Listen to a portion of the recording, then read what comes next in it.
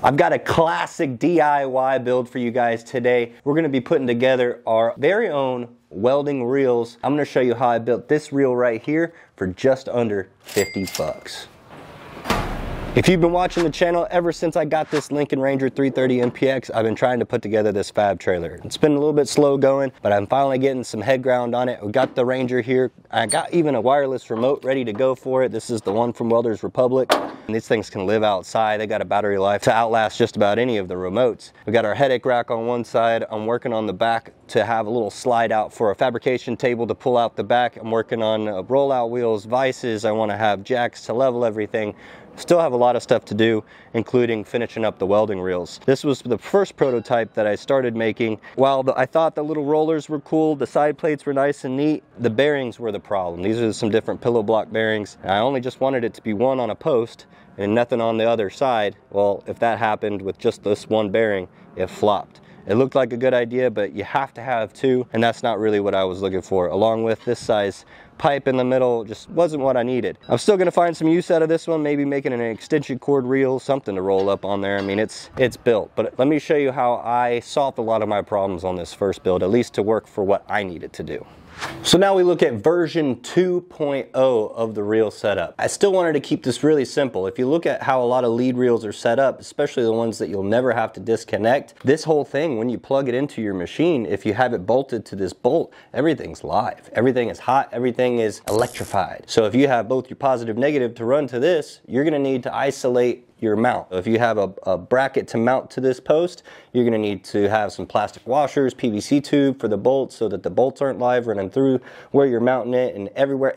Anyway, you're gonna need to take some certain steps to make sure that you don't have any arc leakage onto your trailer, your truck bed, so that your machine doesn't get damaged and you don't damage your welding reels and leads. I wanted to keep it simple, just put a hole in the side so that we could stick our Dinse connector or our LC40 right through it. Just a hole big enough that it kind of gets wedged in there. On the other side, we've got this little brake system and it'll help this thing roll really easily. And if I want it to stop, I can tighten it and it won't move, or I can just give it a little tension and it won't free spool too bad on me. It's a really simple setup. Uh, we had a little scrap torch that I cut off and use it as a handle. You can use whatever you want as a handle. But really what this boils down to is a few things as far as cost. So this is inch and three quarter tubing. This piece right here is roughly three foot. And then we have a piece of inch and a quarter. So that's what I have running through the center of everything and mounted and welded to the actual inch and three quarter post. And we're gonna have these inch and a quarter bearings run over this and these are gonna mount to that along with this piece of three inch tubing Okay, so this is three inch, eighth inch wall, and this is about a foot long. It's gonna be on the outside of the bearings. So we basically have a barrel system on the inside with two bearings, and then we're going to block off the ends with our end plates. You can cut them however you choose. You can do them by hand, lay them out. As long as you lay them out good and you got some good grinding and cleaning techniques that you can make it look decent, you can get a nice circle. But I went ahead and cut it on my fast cut CNC table along with that Thermacut Xtra-Fire. Uh, we're running at 65 amps and 100 and something inches per minute. Saves me a lot of time. This whole total for four of these pieces of plates, you're looking at around here. Let me get, I got my cost back here. I got it written down on this table over here somewhere. Oh, there it is. Three inch tubing. We ended up getting a total of three foot of it and I had a foot of drop. So that was about 20 bucks, 1880 to be exact. Then the inch and a quarter tubing at $6.90. Again, we've got three foot of that stuff. And then we have our piece of plate. I got way more plate than I need. And that was a piece of drop that I got from the metal supply. That was 35 bucks. And again, we got some extra stuff. So all the little plate and stuff for the bells and whistles, uh, we'll have that already on side. And then the bearings themselves for all four of them, we're looking at $24. Now, if you add everything up, including this piece of inch and three quarters, which is about 10 bucks, you're looking at $94.70 total for about $47.35 per reel, including the post. If you ask me, that's a pretty decent setup. So enough talking about it. Let's go ahead and stick this thing together because it honestly is a really easy build too.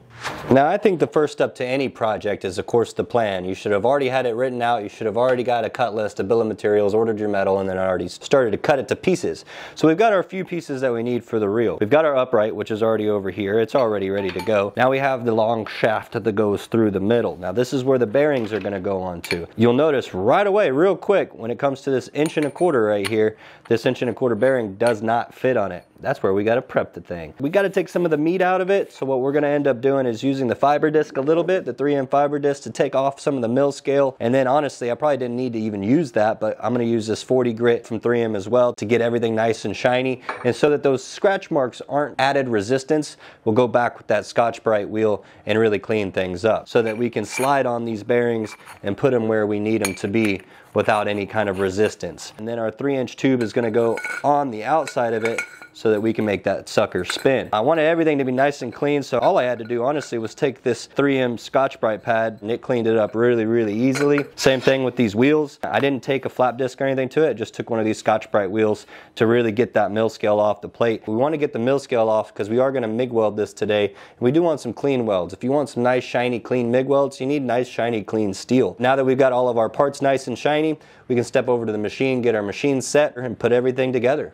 All right, so we are going to be running our basic MIG today, 035 carbon steel wire, 7525 mix cast on the EMP 285 IC from ESAB. This does have a smart MIG option. We're running eighth inch material, uh, max 3 16ths to eighth inch, and we could get that S-MIG over here and set that max thickness and our wire size, and it'll give you some parameters to set. I like to go, keep things complicated, and I'm just gonna go to your normal manual settings. We're gonna run about 20 volts and 240. That's gonna be the voltage needed, and the secret sauce is gonna be some anti-spatter, so as we don't get a little bit of spatter all over the material that we want to be nice and smooth. Be sure to go check those links down in the description below, guys. We've got our partners down there that got some discounts below from Outlaw Leather, lightest carbon fiber hood that I, have ever owned. Caiman gloves, those 1600s, those gloves I wear all the time. Of course, Abicor Binzel is a good friend of ours with these ergonomic MIG guns and consumables. Thermacut, 3M, and we've got to thank them a lot for the, some of the tools that we're able to show you. So let's get over here and start tacking this thing together. All right, so the first step is going to be putting on these bearings. I don't know if they're weld-on bearings or not. They're they're made out of metal on the outside and the inside, so that's cool. I can weld to that for sure, but the inside's probably got some ball bearings or some grease or something along those lines that'll probably get damaged. So I'm keeping some anti-spatter and a little bucket of water. My daughter, she's a she's a big fan of buckets, so we got a lot of buckets laying around basically what I'm trying to do is find the right spacing in here. It doesn't have to be super critical. I just don't want, I know on the ends of each one of these three inch, I'm gonna weld this here plate. So I don't want the heat to get to this that much. Now I am gonna end up having to still tack to this so that they don't move. You can see that they slide. I'd rather them not slide and they're also gonna get tacked to this. This is where I get a little bit nervous because I TIG welded the last one. This one I'm gonna try to MIG weld it as I think it's more accessible to y'all. As far as where I'm gonna put them is I know where my my reel's gonna be, and again where those plates are gonna sit, right there on the ends, I'm gonna try to get those just a little bit closer. So if I had to put a measurement on it, where's my tape measure? Two inches seems plenty. Just a hair, two inches. Two inches from these little blue dots that I got on here, because that's where I know that's gonna be sitting. There's really not a whole lot to that. They're sitting pretty square because they're tightly fit. And put a little tack on the inside. Any spatter. don't want to burn up that rubber or get anything stuck to anything. I don't want to put them too deep in because I still want to be able to reach and weld in there. So I'm definitely trying to favor the bottom pipe and then push into the bearing. I really don't know a better way without you getting like a set screw or something. And that's just not my style. I'm a simplistic man. That's gonna keep things from rolling on us. Now all we gotta do is take our other piece of tubing, slide it in. gotta get the right fit up because this doesn't sit perfectly center on the inside. It's got a lot of, a lot of play, so we're gonna need to center it and get it where we want it. In order to keep all that slop that was in this before, all I've done is just taken some 332 aluminum TIG wire and I've cut that to about three inches a piece and then I've stuck two pieces on either end. That basically centers up everything that was that slop and now I can go ahead and tack. I want to tack four sides, top, bottom, left, and right.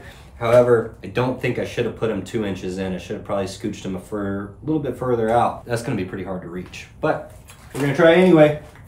I may not be a smart man, but that's all. That's all. Hmm. That's not what I want to hear. Okay, so I've got a gas hose here. I took it out of the back of the machine. It's running. I'm going to point that right where I need to be, and I took the nozzle off of here. That's not ideal. A little bit of porosity in there still. Maybe not the way to go. So I was able to pull out all four of the pieces out of the bottom of that, that kind of fit up wire. I put a diffuser, a little gas diffuser on the end of this hose now. Hopefully I can get less porosity, but I got attack on both sides of this tube. Gas coming out of here, gas coming out of this little diffuser. Let's see. Still got porosity. Not ideal guys, but it's also not that big of a deal for what I needed to do. I just needed to quit making those things roll. They only need to be tacks anyway. On the last one, I used TIG welding and I didn't put these things so freaking far back. I have some trusty water because that helps everything when it comes to welding. I really just don't want to burn up those bearings. Well, that was honestly pretty embarrassing. We got some tacks in there. I think they all just got a Scotia porosity. Four on either side, that's what we were aiming for. I think we got it rolling. Not super proud of it. I would have pulled those bearings a little closer so they were a little easier to reach and I might have TIG welded them a little bit better. And the reason why I wanted them far away, when I put uh, a good bit of weld on these, these bearings are further back into this part. So I'm gonna be putting a lot more heat on that weld. That way I don't melt those bearings as I weld. Now I've got the plates on either end. I'm gonna take this little tiny 16th of an inch piece of filler metal, kind of like I did with the aluminum to center the other bits. And I'm gonna center the shaft to the hole on this plate. A little bit of room to roll around on either side. I don't want anything rubbing. I've got my fixture table kind of set up so that these don't fall off the other directions. The other thing we'll check is just make sure we have a square. So we are gonna need to end up pulling it up. So we're gonna tack the top here. Too bad. Doesn't have to be perfect, guys. One tack in. I could probably can take this little clamp out. Now we're gonna roll it to the opposite side. You keep my little spacing wires in. Make sure our tack is on the exact opposite side. At that point, you could probably take this little spacing wire out. When you're by yourself, this is the way to go. You wanna make sure we're square those directions.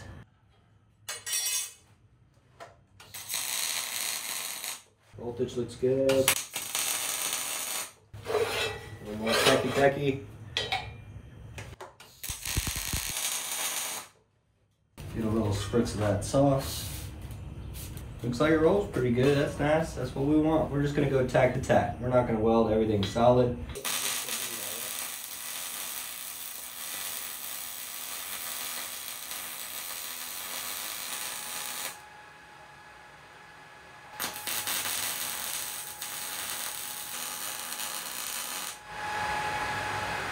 I said, I want to put a lot of heat into it because I don't want to get to that bearing on this other side.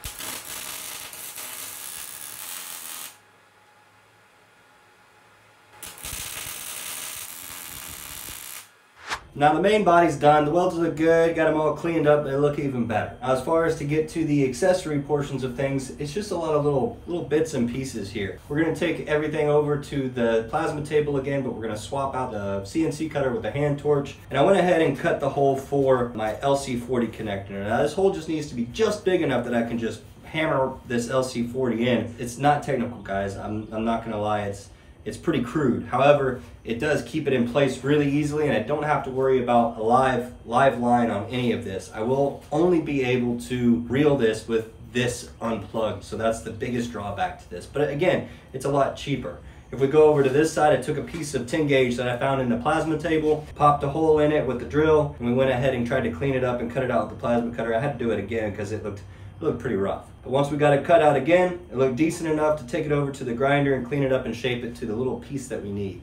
And then we had the nut and bolt that we needed. We went ahead and stuck it through there, lined everything up, clamped it down, welded out the nuts, everything, let it cool off, and then made sure everything was nice and clean to put onto the end here. After I got it welded to the end, I can weld this other little wrench on, and that's gonna give me this handle. Again, another easy, crude way in order to put a brake and a stop on this reel. I can slow down the reel, I can completely stop it, or I can let it free spool. As far as the handle goes, not everyone has a bunch of torch heads laying around, but I have a bunch. So yeah, essentially the accessory bits are done. The reel is done. We've just got to attach it to our post now. Now, if you guys haven't noticed by now, I'm not exactly like the most technical fabricator, but I do get things the way I like it anyway. Now, if it's for a customer, I try to be a little bit more particular than it's stuff that I build for myself because I'm I'm all about that that gets it done kind of deal. To get this kind of leveled out by myself, I'm gonna really eyeball a lot of the stuff here. As far as what's clamped on here, we're riding the line over here. I've got about four inches from here to here. I'm going to get roughly where I want as far as four inches from the top. That's about four inches, but I'm leaned back, and then I could put the tack right here. Now that I got a tack on there, find where four inches is, or at least level. Level is more what I want to see. Just riding the line on the other one, so we want to ride the line on ours. And now as far as where things go this direction, we're just gonna eyeball it. And I can already tell you that this is a little bit different. It's, it's not exactly in line. That's okay, because this is for me, and these are little, little happy little things that I'm happy to live with. We got that welded solid. We've got our cable run back into the reel or into the LC40 connector. We can loosen that. Just give it a nice snug coil. Not bad, not bad. Lock it up. It should be sitting pretty sturdy right there. Now I will admit, these things are not identical level to each other, so I'm not super proud of that. Probably something that I'll go about fixing in the near future. For under a hundred bucks was the cost of material aside from the torch heads and stuff. And of course the leads, that's gonna be a whole nother ticket. But for a hundred bucks in steel and some bearings, you've got yourself a two-piece reel setup that could probably hold, this is 50 foot, it'll probably hold 150 foot of lead on each one of these. You know, when you're going to shop, do some shopping. If you got the means, maybe make your own. They're not perfect, but they'll get the job done. Thanks for watching. We'll see you guys on the next weld.